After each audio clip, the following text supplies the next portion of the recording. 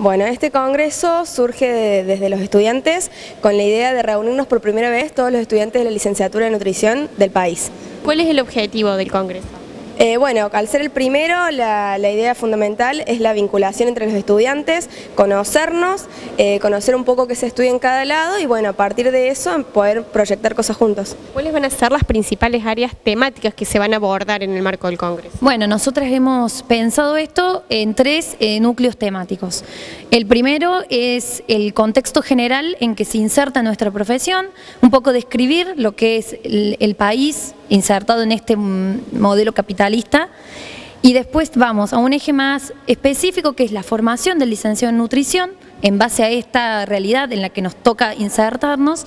Y el último, que es para nosotros el más importante, donde los chicos van a tomar protagonismo, que es el eje de los derechos y las obligaciones del estudiante.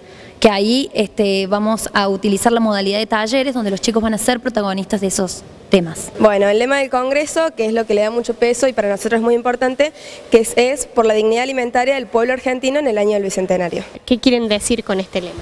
Tomar un poquito conciencia los licenciados en nutrición de todo el país de lo que realmente significa atender a las necesidades de nuestra sociedad. ¿A dónde se va a llevar a cabo? Se va a llevar a cabo acá en el pabellón Argentina el 30 de septiembre, 1 y 2 de octubre. ¿Y quiénes pueden participar?